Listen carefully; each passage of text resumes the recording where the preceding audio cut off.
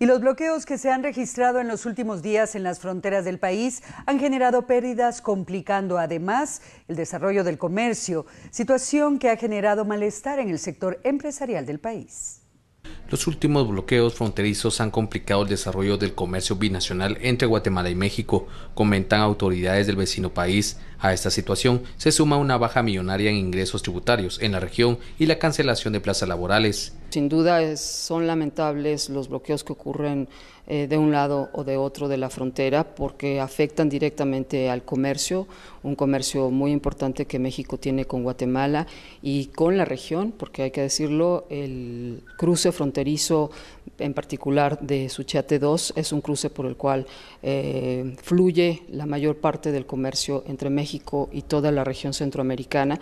Entonces se está afectando directamente al comercio a, a través de estos bloqueos. También se afecta la recaudación fiscal de uno y otro país en particular, creo yo que, es importante subrayar este impacto que tiene en, la recaudación fiscal en Guatemala y también afecta los empleos de mucha gente que depende justamente de las transacciones comerciales que ocurren diariamente en la frontera y en las aduanas marítimas.